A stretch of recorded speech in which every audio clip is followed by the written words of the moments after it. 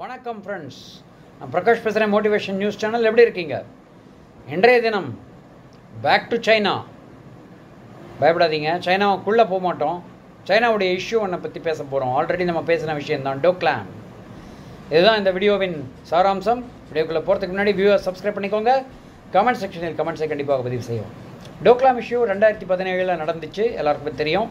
டோக்லாம் இஷ்யூவில் வந்து துப்பாக்கி கிடையாதுங்க.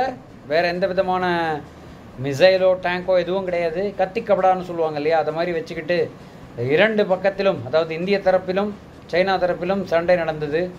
அவங்க வந்து சைனா இன்னும் குரூரமாக ஆணிகளையும் மட்டைகளையும் மற்றும் கட்டைகளையும் வைத்துக்கொண்டு சண்டை போட்டார்கள். ஸோ அந்த அளவு ரொம்ப லோக்கலாக நடந்த ஒரு ஃபைட்டுக்கு அப்புறம் என்னதான் நடக்குது டோக்லாம் அப்படின்னு பார்க்கலாம் அப்படின்னு பார்த்தா இப்போ சேட்டலைட் பிக்சர்ஸ்லாம் என்ன சொல்கிறதுன்னா இந்தியா அதாவது இந்தியா சைனா பார்டரில் டோக்லாம் பக்கத்தில் ஒரு பூட்டானிஸ் வில்லேஜில் சைனீஸ் அவங்க வேலையை காட்ட ஆரம்பிச்சிருக்காங்க. நிறைய ஒவ்வொரு வீட்டுக்கும் பார்த்தீங்கன்னா ஒவ்வொரு கார் நிறுத்து நிறுத்தப்பட்டிருக்கிறது. ஒரு பக்கம். இன்னொரு பக்கம் அதுலேருந்து கொஞ்சம் தூரத்தில் உள்ள ஒரு ஏரியாவில் பிரிட்ஜும் கட்டிட்டாங்க. ஸோ பார்டர் ஏரியாவில் இப்படி நடக்கும்போது டோக்லாமில் பலவிதமான விஷயங்கள் ஆபத்துக்குரியது என்பது போன்ற ஒரு சலசலப்பு ஏற்பட்டு கொண்டு தான் இருக்கிறதுங்கிறதுல எந்த சந்தேகமும் இல்லை ஃப்ரெண்ட்ஸ் ஆனால் இதையெல்லாம் சொல்லும்போது ஒரு விஷயம் நம்ம மறக்கக்கூடாது. இந்திய இராணுவம் சும்மா சாதாரணமாக எல்லாத்தையும் பார்த்துக்கிட்டு விரல் சூப்பிக்கிட்டு இருக்கிற இராணுவம் கிடையாது. இராணுவம் மட்டும் இல்லை ஏர்ஃபோர்ஸ் ரொம்ப பவர்ஃபுல் இரண்டு மூன்று தினத்திற்கு முன்பு தான் நமக்கு வந்து ரஃபேலுடைய அடுத்த ஏழு ஃப்ளைட்ஸ் வந்து இறங்கி இருக்கிறது மறக்கக்கூடாது. பலவிதமான விஷயங்கள் நடந்து கொண்டிருக்கின்றன.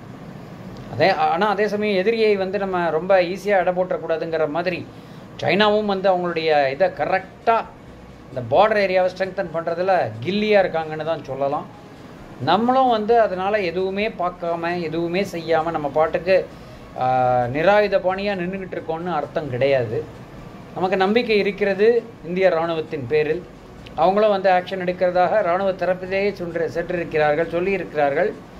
பா வாட்ச் பண்ணி கொண்டிருக்கிறோம். சென்சிட்டிவான ஏரியா தான். பூட்டான் பக்கத்தில் பண்ணுறதுனால நம்ம எல்லையில் வரல.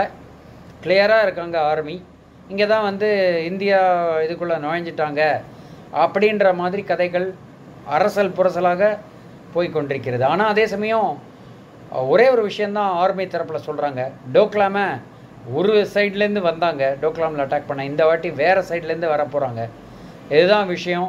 எவ்வளோ தூரம் வருவார்கள் வருவார்களா?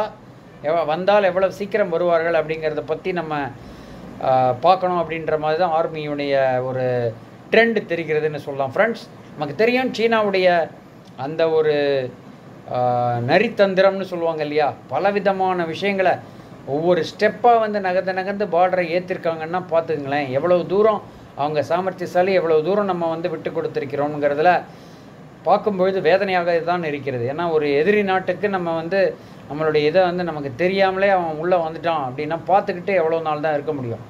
பதிலடி கொடுக்க வேண்டாமா? லடாக்கில் என்ன நடந்தது? இப்பொழுது முன் முன்பே டோக்லாமில் என்ன நடந்தது?